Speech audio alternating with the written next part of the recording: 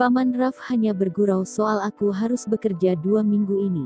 Saat usiaku melewati ulang tahun ke-18, aku berhak menentukan sendiri jalan hidupku. Itu juga terjadi saat Am Em Im Om dan Um. Mereka bisa memilih melakukan hal lain, tapi mereka memang sukarela bekerja untuk Paman Raf. Lihat, lihat siapa yang datang. Ak terkekeh. Minggir, minggir. Seorang puteri mau lewat. Bo ikut berseru. Aku barusan turun ke halaman, pagi-pagi sekali, hendak menyapa pekerja konstruksi yang bersiap berangkat. Mereka mengenakan kaki-kaki dan tangan-tangan robot, enam kapsul terbang mengambang di atas halaman, siap mengantar ke lokasi pekerjaan. Kerumunan pekerja tersibak, mereka tertawa lebar, senang melihatku. Selena semakin tinggi saja, seru salah satu pekerja. Pelan dengan tangan-tangan robot. Sekolahmu lancar, yeah. Dan semua orang bertanya hal itu sejak kemarin, Ak. Tidak bosan-bosannya. Ak tertawa, melambaikan tangan. Kamu akan ikut ke lokasi konstruksi. Mengisi waktu libur. Aku menggeleng. Aku hanya ingin menyapa para pekerja. Menyenangkan bertemu mereka lagi. Hei, siapa yang menyuruh kalian bercakap-cakap? Ayo berangkat sekarang. Paman Raf bergabung di halaman, mengenakan helm perak. Disusul Am Em Im Om dan Um yang juga telah mengenakan seragam pekerja. Ayolah, Raf. Masih setengah jam lagi. Anak-anak bahkan belum menyapa Selena dengan baik. Ak mengangkat bahu. Tidak bisa. Lagi pula, kenapa kalian harus sibuk menyapa Selena terlihat riang sekali bertemu dengan dia. Menyambutnya seperti puteri. Kalian tidak pernah melakukannya untukku. Malah bersungut-sungut saat aku datang. Padahal aku yang mengaji kalian, heh. Ak tertawa, mengangkat bahu robotnya. Idih, siapa pula yang mau menyambut si perut buncit itu? Bo berbisik padaku. Benar, si tukang ngomel. Pekerja lain ikut berbisik, aku ikut tertawa. Para pekerja segera menyelesaikan persiapan akhir. Mereka telah sarapan sejak tadi. Mereka segera menaikkan peralatan konstruksi. Lantas berderap memasuki kapsul terbang. Satu persatu kapsul terbang meninggalkan halaman. Aku melambaikan tangan ke setiap kapsul. 15 menit, halaman itu lengang. Aku tersenyum. Balik kanan, kembali ke lantai 4, dapur Bibile. Kamu hari ini mau ke mana, Selena? Bibile berseru, dia sedang sibuk menyiapkan bekal untuk makan siang. Tangannya cekatan, multitasking.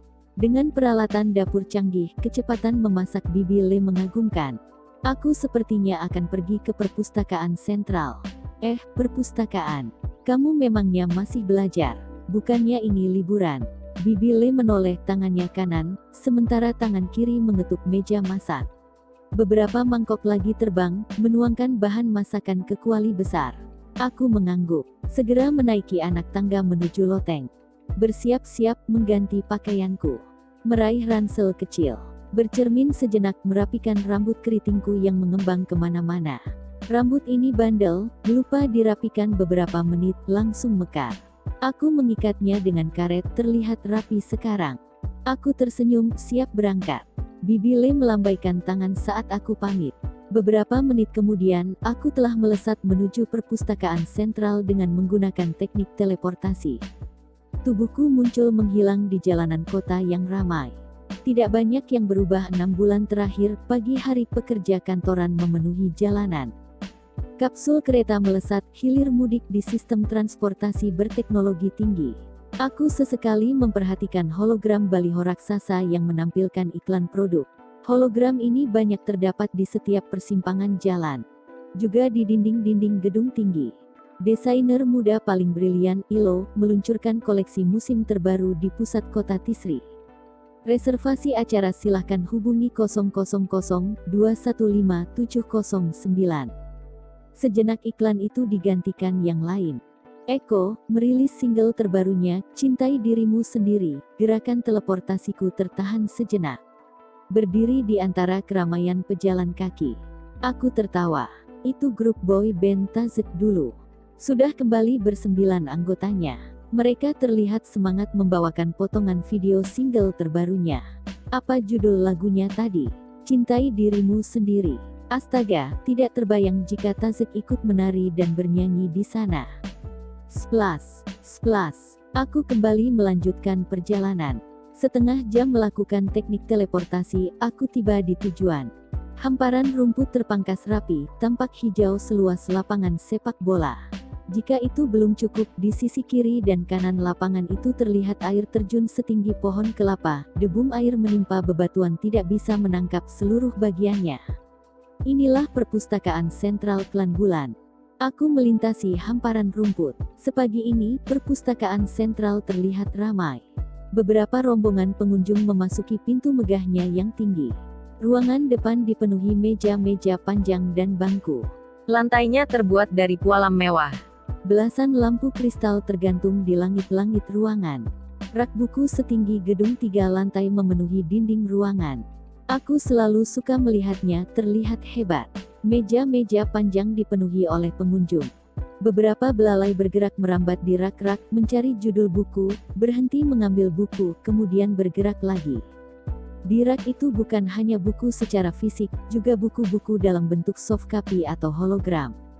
Aku sering mengunjungi ruangan depan ini.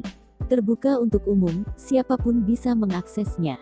Aku akan mencoba masuk lebih dalam ke ruangan yang tidak pernah kudatangi. Aku melewati pintu bundar di bagian belakang, masuk ke dalam lorong remang sepanjang 30 meter, tiba di ujungnya, mendorong pintu bundar berikutnya. Tiba di ruangan yang lebih kecil, mungkin sepersepuluh dibanding ruangan depan. Salah satu petugas langsung mencegatku, menunjuk pelang hologram yang tergantung di atas kepala, bagian terbatas. Hanya untuk pengunjung dengan izin, aku menelan ludah. Apakah Nona memiliki izin? Petugas itu bertanya. Aku ragu-ragu meraih kartu hologram aku.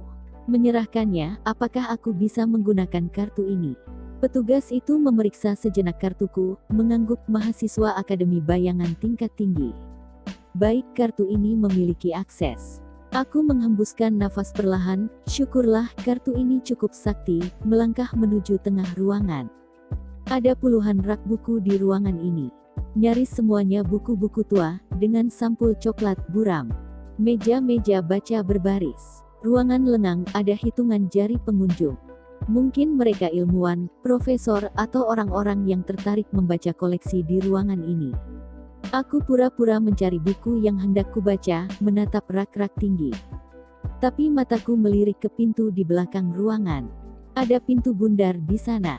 Dijaga oleh dua orang pasukan bayangan, dengan tombak perak teracung ke depan. Itulah pintu menuju bagian terakhir yang melindungi bagian tersebut. Jika depannya saja dijaga oleh pasukan bayangan, aku tidak tahu sistem keamanan apa yang menjaga lorongnya. Aku menghela nafas perlahan lagi, meraih buku dengan judul Hewan Langka Distrik Dataran Tinggi. Beranjak duduk di salah satu meja baca. Senyap, ruangan itu kedap suara. Hanya sesekali suara kertas buku di balik yang terdengar. Mataku terus menatap halaman buku, tapi pikiranku ada di pintu bundar itu. Apa yang harus kulakukan? Bagaimana caranya memasuki bagian terlarang itu? Buntu. Aku tidak punya ide. Waktu terus bergerak. Aku sempat keluar untuk makan siang, kembali lagi, tetap tidak terpikirkan caranya. Menjelang matahari tenggelam, petugas memberitahu pengunjung jika bagian terbatas akan ditutup lebih cepat jika pengunjung hendak terus membaca, silahkan pindah ke bagian umum di luar yang buka hingga pukul 10 malam. Semua buku harus dikembalikan ke rak. Koleksi bagian terbatas tidak untuk dibawa pulang. Aku menarik nafas panjang, melangkah mengembalikan buku keraknya. Baiklah, aku akan pulang. Hari ini tidak ada kemajuan. Asteris asteris asteris juga hari berikutnya, dan berikutnya lagi. Tujuh hari berlalu tanpa kemajuan sedikit pun. Alangkah seringnya kamu mengunjungi perpustakaan sentral Selena. Um bertanya, jadwal makan malam bersama. Dia seorang mahasiswa ABTT Um. Kampus terbaik tentu saja dia harus sering ke perpustakaan. M menjawab sok tahu. Kamu tidak bosan melihat buku, buku dan buku, Selena. Um bertanya lagi. Kamu juga tidak bosan melihat alat bor, alat bor dan alat bor setiap hari, Um. M menimpali lagi, tertawa. Bosan sih, tapi mau bagaimana lagi? Um diam-diam menunjuk kursi paman Raf. Lima kakak beradik itu tertawa. Kamu sedang mengerjakan tugas kampus, Selena. Bibi Le ikut bertanya, sambil meletakkan nampan besar berisi makanan berikutnya. Eh, riset mata kuliah, Bibi Le. Mereka memberikan banyak tugas. Aku mengarang jawaban. Dan waktu kerja. Paman Rafikut berbicara. Aku menyeringai. Mengangkat bahu entahlah paman. Mungkin agar mahasiswa siap untuk semester berikutnya saat kembali ke kampus. Oh ya, kalian jadi menonton Parsip. Aku segera memindahkan topik percakapan. Yeah, kamu mau ikut, Selena? Menonton pertandingan di Stadion Distrik Batu Keras. Ini akan seru. Im menjawab semangat. Bagaimana dia bisa ikut, dia harus ke perpustakaan lagi. Um lagi-lagi membahas soal itu. Aku akan menonton dari rumah saja. Omong-omong, siapa sih sekarang pencetak gol terbanyak? Meja makan membahas pertandingan bola terbang 15 menit ke depan. Melupakan sejenak soal perpustakaan itu. Juga lompat ke persiapan pernikahan Am, hingga selesai makan malam. Aku membantu Bibi Le membereskan dapur, kemudian masuk ke loteng. Menghempaskan punggung di kursi, menghela nafas perlahan. Tiga tahun aku tinggal di rumah Paman Raf, aku tidak pernah berbohong sekalipun ke keluarga mereka. Aku selalu berkata terus terang. Tapi seminggu ini, aku berkali-kali mengarang alasan, mengarang penjelasan. Apa yang terjadi denganku? Setidaknya jika aku tidak mau bilang apa alasan sebenarnya ke perpustakaan sentral setiap hari, aku bisa memilih diam, bukan malah berbohong. Aku menyisir rambut keritingku. Lupakan. Toh itu bukan bohong yang serius. Aku menyambar tablet setipis kertas di atas meja. Saatnya mencari cara menerobos ke bagian terlarang. Sudah dua hari ini aku mengunduh informasi tentang bangunan perpustakaan sentral. Cetak birunya, desain interiornya, termasuk lorong-lorong ventilasi, saluran air, dan sebagainya.